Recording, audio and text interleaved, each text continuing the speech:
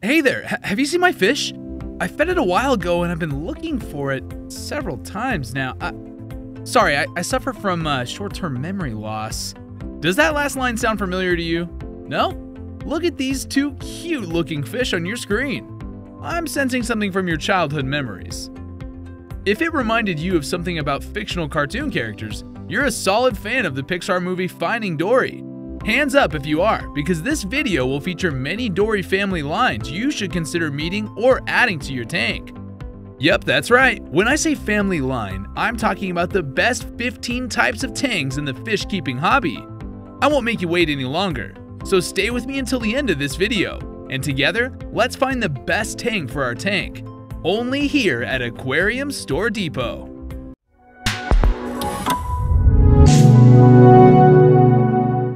One fish species that people are most familiar with is the tang.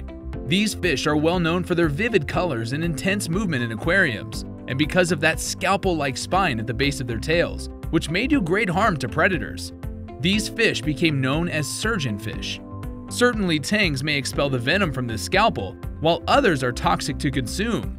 Well, they are one good definition of cute but terrible, huh? Lucky for you, Although tangs aren't the hardest fish, they're also not the most sensitive, which is a blessing. Each list of prerequisites will be particular to the species because there's such a wide variety of tangs, so better research at your own risk. Apart from that, tangs are generally simple sea fish. As previously said, they can be challenging to acclimate to the tank, but they will thrive if conditions are right. In addition to potential hostility, feeding tangs is more complex than with other reef fish. Most of their demands for herbivorous food will be met by the rockwork in mature coral reefs.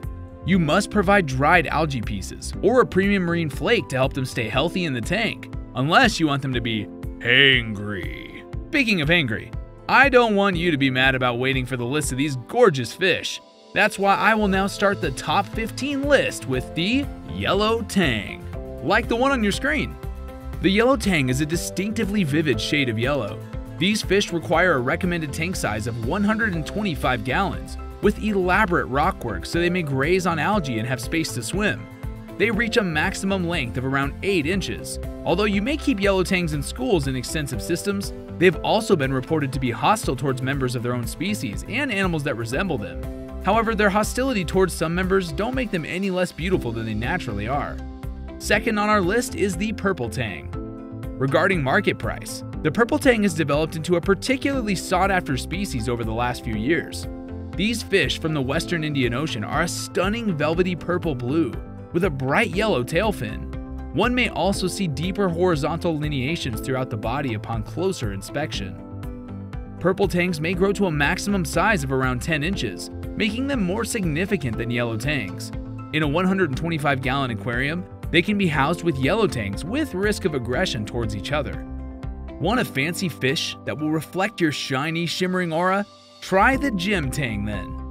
Gem tangs, often referred to as spotted tangs, are the gem of the tank because of their brilliant yellow tail and black body that sparkles with tiny white spots. Sadly, it may be challenging to get these fish, and their unusual look might drive up their price.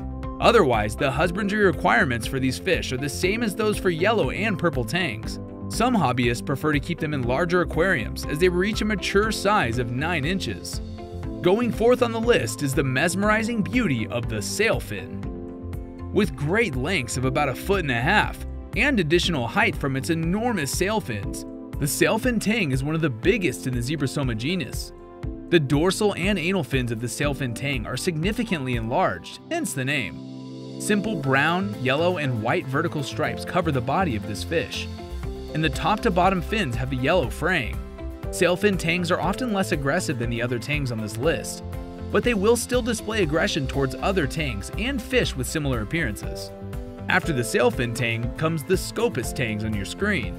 Scopas tangs have a half light brown, half dark black body that gives them a somewhat basic appearance.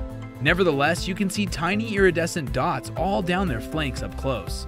Scopas tangs share almost the same characteristics as yellow tangs, although they're not as colorful. While this is unusual in the aquarium hobby, they may grow immensely and reach a maximum height of 1 foot. This tank species thrives best in a 125 gallon or larger tank because of its mature size, possible aggressiveness, activity levels, and herbivorous diet. I always say black is elegant because black tangs prove it's true.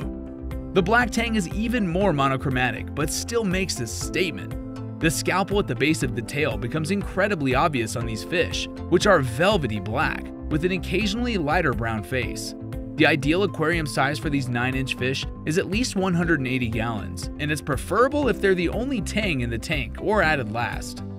Seventh on our list is the Kole tang. The Kole tang is a handsome fish, also known as the spotted surgeonfish, bristle-toothed tang, and Kole golden eye tang. These fish have delicate stripes along the length of their brown bodies and a beautiful golden ring around their eyes. They can reach a maximum size of 7 inches, Kole tangs are so named because of their extraordinary capacity to use their teeth to scrape off copious quantities of algae from hard surfaces. These fish have been seen in their natural waters washing sea turtle shells, and even setting up stations for tourists who are coated in algae. After the Kole tang, let's now meet the Tomini tang. What an oddly cute name indeed. One of the minor tang-like fish on this list is the Tomini tang. They appear to be a different, unrelated species due to their highly slender brown bodies, yellow tip fins, and white tail fins. These tangs are a small species, only reaching a maximum length of 6 inches, natives to the western central Pacific Ocean. Even though they're tiny, they are nonetheless valuable herbivores that can remove algae from most hard surfaces, and they often exist alone or in small groups. We're far now from the first tang type we featured. Before we even continue, it would be awesome if you gave this video a thumbs up and smash that subscribe button to be updated with the latest topic related to the fish keeping hobby. Please help us gain more followers to spread important information about the ABCs of fish keeping. Going back on track, this fish is undoubtedly familiar to you. Say hello to the real-life dory named the hippo tang. The hippo tang is also known as the dory fish, the blue tang, the hepatic tang, and the royal tang. This schooling fish from the Indo-Pacific has a vivid blue color with yellow pectoral and tail fins. Although many hobbyists have successfully raised blue tangs in aquariums as small as 125 gallons, they may grow to be a foot long and require 180 gallons at full size, but regrettably their prominence has resulted in many unfavorable situations in the aquarium hobby. Once established, these fish are tough, but when first brought to the aquarium, they're particularly susceptible to ick and other ailments.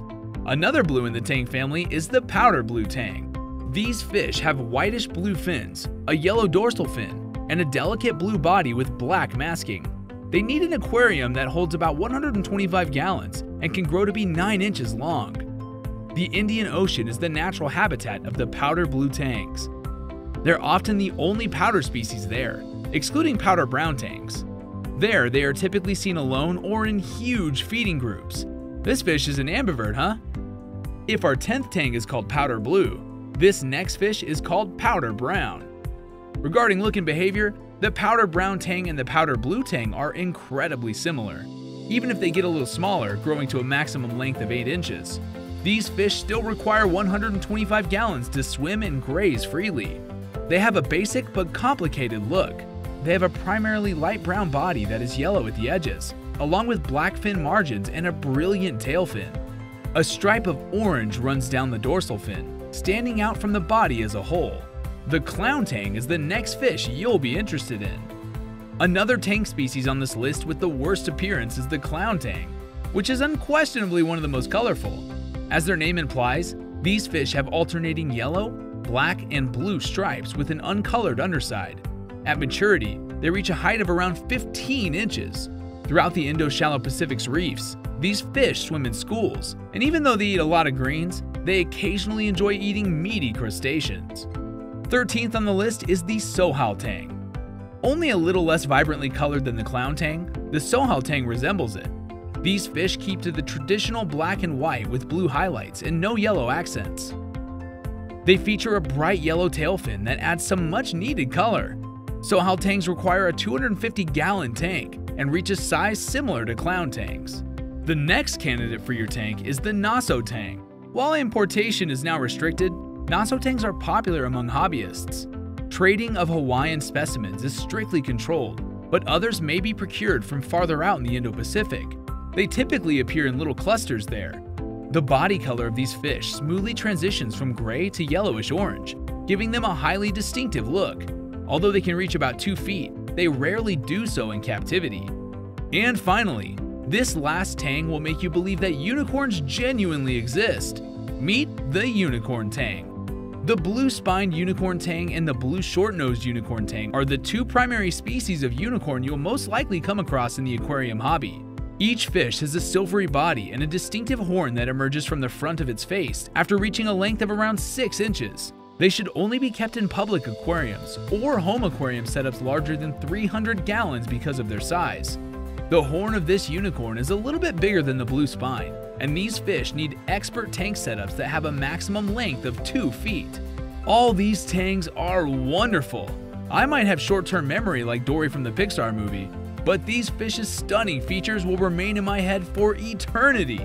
These fish have been crammed into micro aquariums for a long time without a reliable source of algae, which causes the fish to outgrow their surroundings and starve. Yet with the proper care and companions, any tang will rapidly become the tank's centerpiece. To know more about how you can care for these precious fish, visit our website at aquariumstoredepot.com, where we posted a particular blog for tangs. You can also read there about the four different species of tangs, their requirements and temperaments, as well as the frequently asked questions about these fish. If you have any questions or want to share your experience, please comment below. Remember also to like this video and subscribe for your regular fish keeping information. Thanks for watching, fish keepers. Now, wait, where's my fish again?